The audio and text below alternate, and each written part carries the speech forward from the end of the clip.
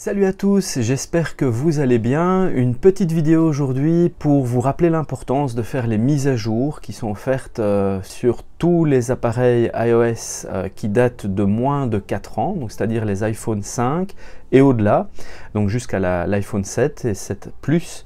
Eh bien, Apple propose la version 10.3.3. Pourquoi est-ce important de faire cette mise à jour?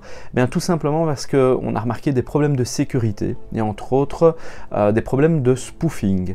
Qu'est-ce que c'est le spoofing? Eh bien, un site internet peut se faire passer pour un autre site internet tout à fait valable. Imaginons google.be.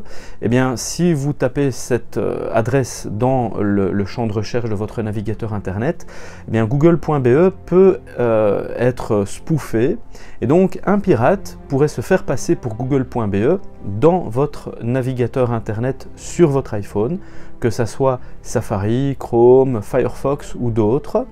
Et ainsi, si vous faites des recherches, si vous allez sur un formulaire sécurisé où il faut rentrer vos informations personnelles, eh bien il pourrait collecter vos informations personnelles par ce biais-là. Donc, il y a peu de chances que ça arrive malgré tout, mais parfois quand on surfe sur un réseau public, euh, vous ne savez pas qui est autour de vous et donc vous pouvez faire l'objet d'une attaque de pirates.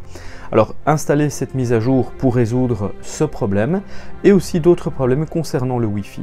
Alors pour le faire, il n'y a rien de plus simple, il suffit de vous rentrer dans les réglages, Général, et là dans Général, mise à jour logiciel, et vous allez avoir directement la petite option qui vous permet d'installer, de télécharger et d'installer iOS.10.3 et .3 et vous laissez faire euh, l'appareil, ça va durer une bonne dizaine de minutes, il va redémarrer, votre téléphone sera mis à jour et vous serez protégé en tout cas pour toutes ces attaques et ces failles de sécurité. Donc je le rappelle, c'est à partir de l'iPhone 5, l'iPhone 4 et l'iPhone 4S ne sont plus pris en charge par la version 10, mais ça on le sait déjà depuis pas mal de temps.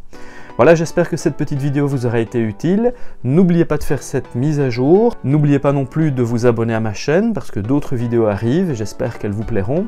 Et mettez un petit pouce bleu et partagez cette vidéo. A plus pour une prochaine